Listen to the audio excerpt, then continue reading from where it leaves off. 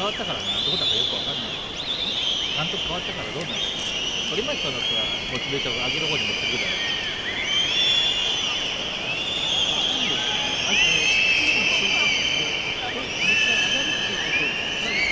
邪魔だと思う。何も関係ない。今の話優勝したら上がれるってわけでもないしそうねしてるっていうことだと思い余計な8月に1試合増えるだけだし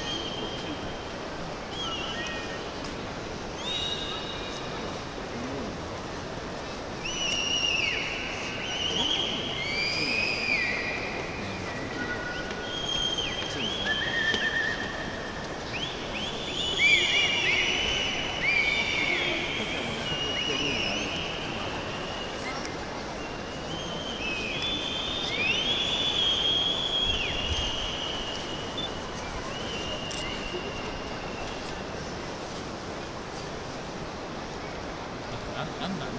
か22の選手を1名以上出すんだっけ？